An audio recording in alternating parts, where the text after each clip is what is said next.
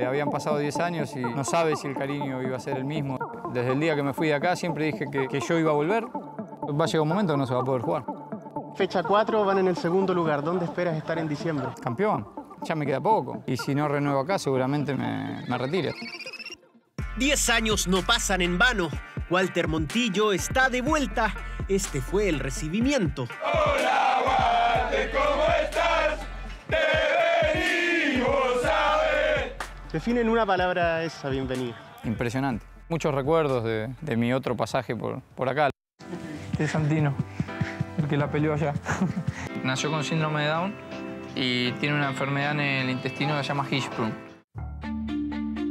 Que iba a tratar de, de devolver el cariño que, que, la gente me demostró en un momento muy difícil de, de mi vida, como fue con, con Santino. Que yo quiero que ellos sientan el cariño que la gente les tiene. Montillo nos olvida de una época difícil.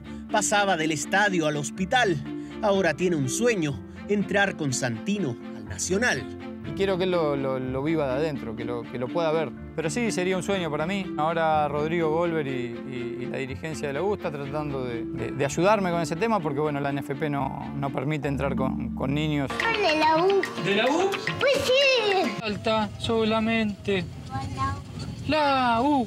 Si un mal paso da, no me importará, porque soy de abajo y te vengo a lentar. ¿Valentín va a jugar en las inferiores? Ayer se vino a probar. Juega bien, juega bien. No, no es porque sea el padre. Mostrarle cómo saca Pinto, que él no sabe. Bien. Pero bueno, antes de venir él me dijo que, que venía para acá con la condición de que yo lo traiga a probar acá, así que bueno. ¿Tú irías con tu familia a una galería en el contexto que está hoy el, el fútbol chileno? Es difícil. Eh, nosotros pues tenemos la posibilidad de que puedan ir a la platea, como muchas familias lo piensan. A mucha gente que le hace bien poder ir a la, a la cancha y, y, despejarse un poco de, de lo dura que es la semana. Estuvo una década alejado del país. Mantiene algunas costumbres. ¿Sigue cantando Américo? El desayuno a la cama. Esta la escuchábamos con, con Victorino.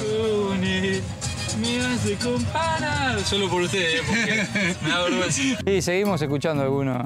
Alguno. Igual fue cambiando, ¿no? Van saliendo grupos nuevos. También piensa en el futuro. Creo que me voy a retirar de acá. ¿Te interesa ser entrenador?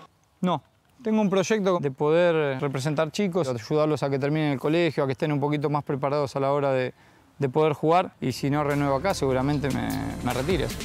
El 10 azul, el que logró escapar de la sombra de Leo Rodríguez, sus sueños y desafíos.